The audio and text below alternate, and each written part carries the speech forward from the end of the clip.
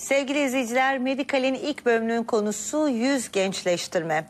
Yüz gençleştirme kapsamında uygulanan tüm yöntemleri Acıbadem Maslak Hastanesi Estetik Plastik ve Rekonstrüktif Cerrahi uzmanı doçent doktor Şükrü Yazar'la konuşacağız. Hoş geldiniz. Hoş bulduk sağ olun. Ve yüz estetiğini, e, ameliyat yöntemlerini sonra konuşacağız. Ama yüz gençleştirme deyince işin içine zaten medikal yöntemlerde farklı yöntemler de giriyor.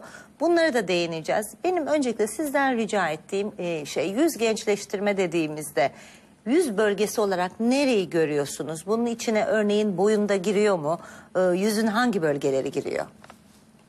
Yüz gençleştirme e, bütün yüzü kapsıyor. Nereleri kapsıyor? Alın bölgesinden başlayarak kaşlar, göz kapakları, burun, yanak bölgesi, dudaklar ve şu kulakların boyun bölgesi tüm bu alanı içeren bir alanı kapsıyor. Yani sadece işte gözler veya dudak değil, bütün yapıları kapsayan bir alan. Peki e, şimdi biz öncelikle ameliyattan başlayalım. E, herkesin aklına gelen ameliyattan e, yüz estetiği deniyor. Yüz estetiği nasıl yapılıyor? Biraz önce dediniz alın bölgesi dediniz, yanak bölgesi dediniz. E, bu iki bölgeye de müdahale etmek gerektiğinde aynı yöntemi mi uyguluyorsunuz, farklı teknikler mi uygulanıyor? Şimdi yöntemin seçiminde öncelikle hastayı değerlendiriyoruz. Burada hastanın yaşı önemli. Hastanın yüzündeki yaşlanma önemli. Nereler ne kadar yaşlanmış bunlar önemli. Kaşındaki yaşlanma, yanaklardaki durum, işte boyun bölgesi, dudaklar bunları tek tek her hastada e, ayrı ayrı değerlendiriyoruz. Daha sonra buradaki var olan yaşlanmalara göre girişimler yapıyoruz. Mesela bir hastamızda eğer kaşlar çok fazla düşmüşse, göz bölgesinde yaşlanma çok daha ön plandaysa ve hasta bundan rahatsızlık duyuyorsa o bölgeye yönelik girişimler yapabiliyoruz. Nedir bu girişimlerde? İşte e, cerrahi olmayan veya küçük müdahaleler olmak üzere bunları bir bölümde yapabiliyoruz veya büyük cerrahi işlemler yapabiliyoruz. Yani bu ameliyatları tek tek de yapabiliyoruz, kombine de edebiliyoruz. Hepsini bir arada da kullanabiliyoruz ama var olan e, yaşlanma ve yapıyoruz. Şimdi hep merak edilen noktalardan biri e, sonuçta e, ameliyat edilen bölge yüz. İz kalır mı? E, ameliyatı nereden gerçekleştiriyorsunuz da e, çoğu kişi yüz estetiği olmasına rağmen hiç belli olmuyor.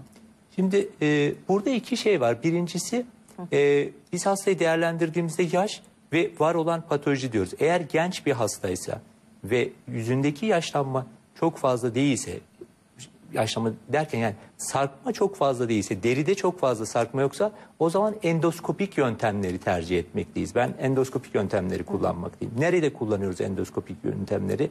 Yoğun olarak göz çevresi, kaş bölgesi, alın germede bu bölgelerde genellikle endoskopik yöntemleri. Endoskopik yöntemlerde neler yapıyoruz? Saçın içinde iç tarafında saçın 2-3 yerden 2-3 santimlik kesiler yapıyoruz. Oralardan bir optik cihazla giriyoruz. Yapacağımız ameliyat bölgelerini bir ekranda seyrediyoruz ameliyat esnasında. Ve o var olan yaşlanma e, sarkan e, kasları, cildi, dokuları yukarı doğru eski anatomik pozisyonlarına geri getiriyoruz. Ve daha sonra o küçük e, dikiş alanlarını, kestiğimiz alanları da dikerek çıkıyoruz. Tabii böyle olunca e, iz daha az oluyor. Hastaların toplaması e, ve ameliyat sonrası dönemde şişlikler daha az, iyileşme süreçleri daha kısa olmakta. Onun için e, tabii ki izler oluyor ama biz bu izleri saklıyoruz. Büyük klasik yüz germe ameliyatı dediğimiz, facelift dediğimiz ameliyatlarda ise izlerimizi ne yapıyoruz? Yine izimiz oluyor ama saklayacak bölgelerde yapıyoruz. Ne yapıyoruz? E, kulağın ön tarafından başlayıp daha sonra arkaya doğru ve saçlara doğru uzanırsak eğer boyun bölgesinde de germe yapacaksak arka saça doğru gidiyoruz. Ve bunlar genellikle saçla e, kamufle olan bölgeler olduğu için e, yara iyileşmesinin de iyi olduğu bölgeler olduğundan dolayı e, çok minimal belli olmayan izler e, ortaya çıkmakta. Peki şimdi endoskopik yüz germe ameliyatı bir yerde kapalı e, gerçekleştirilen bir ameliyat değil mi? E, bunda e, anestezi nasıl? E, fark var mı? Yani açık yaptığınız ameliyata göre endoskopik yüz germe ameliyatının e, başka ne gibi avantajları var?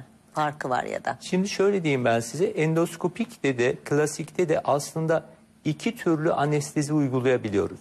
Yani lokal anestezi birlikte sedasyonla yapabiliriz bu işlemleri veya genel anesteziyle yapabiliriz. Bunu hastamızla tartışıyoruz. Hastanın yine durumuna göre e, karar veriyoruz. Ama endoskopik olarak uyguladığımızda ameliyat daha kısa sürdüğü için, daha hızlı, yara izleri, kesiler daha az olduğundan dolayı sedasyonu daha rahat kullanabiliyoruz. E, Bu bir avantaj olabiliyor. Hasta ertesi gün evine gidebiliyor. Kendi öz hijyenini sağlayabilecek durumda oluyor. E, Şişler az oluyor, morluklar daha az oluyor. Daha az kestiğimiz için yara iyileşmesi daha hızlı oluyor. Ve sonrasında da hasta daha erken e, hayatına, işine geri dönebiliyor. Peki Sayın Yazar tabii ki e, ameliyat dışında başka yöntemler de var. Ameliyatı kime e, uygulamak tıbben gerekir? Tabii ki kişinin isteği de çok önemlidir burada ama siz bir hekim olarak yüz estetiğini, endoskopik yüz e, estetiğini ya da e, normal yüz germeyi kime önerirsiniz? Yaş önemli bir faktör müdür burada? Bu soru hep bize soruluyor hastalarımız tarafından. Bize geldiğinde işte yüzünü muayene ediyoruz ve benim yaşım daha bu kadar atıyorum 30'lu yaşlardaki bir hasta bana ameliyat gerekiyor mu? Veya 60'lı yaş- yaşlardaki bir hasta e, hangi yöntem gerekiyor diye sorabiliyor. Aslında yaştan çok e, kişideki sarkma ve e, yaşlanma önemli. Yani 30'lu yaşlarında çok e, sarkan, çok yaşlanan bir insan gördüğümüz gibi 50'li yaşlarda yüzü çok daha genç görünen insanlarla karşılaşabiliyoruz. E, tabii o zaman ameliyat yani yaşlara göre belirlemiyoruz. Var olan e, bozulmaya veya yaşlanmaya göre belirliyoruz. Eğer fazla cilt sarkması yoksa, genç hastaysa, kaş, alın germe yapacaksak, göz çevresine ve orta yüz bölgesine girişim yapacaksak ben endoskopik yöntemi tercih ediyorum. Ama ciddi şekilde ciltler, ciltte sarkma, kırışıklık ve yaşlı hastaysa o zaman e, daha çok klasik dediğimiz işte uzun kesiler yapıp e, germe ameliyatlarını uyguluyoruz. Bunu hastayı değerlendirerek karar verin. Peki şimdi ben e, şunu merak ediyorum. Son günlerde özellikle medyatik bazı isimlerin fotoğraflarına baktığımızda özellikle şu yanak bölgesine konulan e, bir takım dolgular var. Bunlar silikon mudur? E, ne amaçla konulur? Bu, bu tür dolgu maddeleri ya da silikonlar nerelere konuluyor? E, aslında ben çoğu kişide daha kötü bir ifade verdiğini düşünüyorum. Şimdi dolgu maddeleri aslında e, büyük bir geniş alan e, bizim uygulama alanımızda. Yani birçok madde kullanıyoruz. İşte 70'li yıllarda 80'li yıllarda kolajen kullanıyorduk. Şimdi artık kolajeni çok fazla kullanmıyoruz çünkü e, alerji yapıyor. Son yıllarda biz yağ enjeksiyonunu çok tercih ediyoruz. Çünkü kişinin kendi hücrelerini alıp e, onları enjekte ediyoruz ve onlar orada yaşıyor. Herhangi bir reaksiyon oluşturmuyor. Yaşamayanlar da vücut tarafından atılıyor. E, bir diğer uyguladığımız yöntem de e, e, kimyasal olarak, sentetik olarak yapılan bu işte hyaluronik asit türevleri dediğimiz e, maddeleri uygulayabiliyoruz. Bunlar da çok sık uyguladığımız, kullandığımız yöntemler. E, ayrıca yine dokulardan üretilen veya sentetik olarak üretilen fasiyalar, işte e, kemik yapısına yakın olan metbor dediğimiz bazı maddeler onları uygulayabiliyoruz. Ama ben kişisel tercihim ben yağ enjeksiyonunu tercih ediyorum. Kü- Çünkü kişinin kendi dokusunu, kendi hücresini naklediyoruz. Daha kalıcılığı fazla olan, e, daha doğal görünen yapılar bunlar. Peki şimdi yağ enjeksiyonu konusunu biraz açalım. Madem ki Tabii. konu oraya geldi. Nereden e, nasıl yağ alıyorsunuz ve bunu yüzdeki hangi bölgelere ne amaçla e, koyuyorsunuz? Kırışıklıkları mı e, yok ediyorsunuz yoksa bir takım e, çökmeleri mi e, yaşa bağlı olarak e, sarkmaları mı yok ediyorsunuz?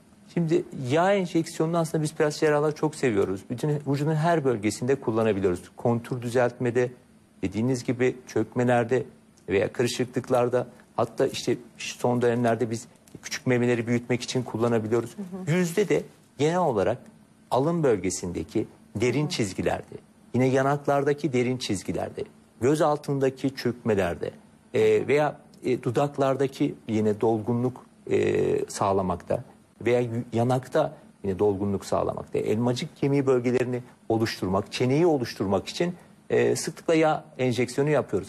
Yağ nereden alıyoruz biz? E, hastamızı muayene ediyoruz. Genel olarak karın bölgesi çok uygun olabiliyor. İşte o bölgeden lokal anestezi altında e, minik bir lokal anestezi yapıyoruz oraya. E, küçük kanüllerimiz var. E, birer milimlik bir kesi yapıyoruz. E, enjektörlerle, vakumla oradaki yağları alıp daha sonra bu yağları bazen küçük işlemlerden geçirdikten sonra biraz önce tarif ettiğim bölgelere e, küçük kanüllerimizde bu yağları enjekte edebiliyoruz. Peki e, yağ enjeksiyonunun ömrü e, ne kadar? Ne kadar süre e, kalabiliyor? Şimdi aslında bir ömrü yok yağ enjeksiyonunun. Şu var, koyduğumuz yağların orada ne kadarı yaşıyor bu önemli. Çünkü koyduğumuz yağın bir bölgeye koyduğumuz yağın e, yüzde otuz kırkı yaşayabilir. O bölgenin de tabii şeyine bağlı, e, gerginliğine bağlı. Bir kemik de gergin olan bir bölgeye yaparsanız orada yağların yaşaması da az. Ama yüz gibi kanlanması bol olan bir yerde e, yağ hücrelerinin yaşaması daha yüksek. Yaşayan yağlar sürekli yaşar. Aslında onlar kaybolmuyor. Ama ilk başta yaptığımızda bir volüm daha fazla oluyor. Yüzde yüz gibi görünüyor. Ama giderek o e, yağın bir kısmı eriyip gittiği için vücut tarafından e, alındığı için yaşayan yağlar orada kalıyor. Bu önemli tabii. Ee, yeniden uygulamalar yapabiliyoruz. Mesela bir yıl içinde 2-3 uygulama yaptığımız olabiliyor. Bazen de hastalarımız sonuçtan memnun olduğu için sadece bir uygulamada yetebiliyor. Peki yan etkisi var mıdır yağ enjeksiyonunun? Ee, her cerrahi girişimin yan etkisi vardır, komplikasyonları vardır. Bunları biz hastalarımıza anlatıyoruz. Var. Nedir? Eğer uygun ortamlarda yapılmazsa enfeksiyon olabilir, kanama olabilir.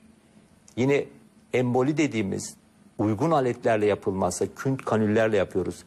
Ucu sivri e, iğnelerle yapmıyoruz bunu. Damarlara girip damarlara verilirse o zaman bu damarlar tıkanabilir. Bir takım komplikasyonlar ortaya çıkabilir. Ama bu kişi bu işi bilen tecrübeli ellerde uygun ortamlarda yapıldığında güvenli bir yöntem. Çok sık uyguladığımız bir yöntem.